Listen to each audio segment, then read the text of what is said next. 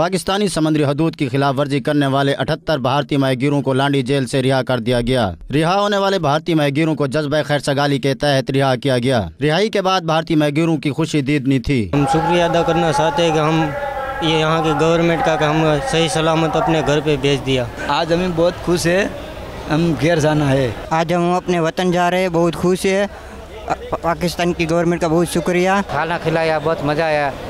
और हमको railway station में गाड़ी में बैठाया। है एदी फाउंडेशन के साथ एदी का कहना था कि भारतीय मजदूरों के सफरी अखराज एदी फाउंडेशन ने बर्दाश्त किए। वाघा बॉर्डर तक जितने भी अखराज हैं इनके वो ईदी फाउंडेशन बर्दाश्त करता है ईदी फाउंडेशन उठाता है इसके बाद इनका खाना पीना होता है इसमें इनको गिफ्ट्स दिए जाते हैं इनकी फैमिली के लिए। रिहा होने वाले भारतीय मैगरों को एदी फाउंडेशन की तरफ़ से नकद रकम और तहफ भी दिए गए, जिसके बाद उन्हें अलामा इकबाल एक्सप्रेस के ज़रिए कराची कैंट स्टेशन से लाहौर रवाना कर दिया गया। इस्माइल अख्तर 92 न्यूज़, कराची।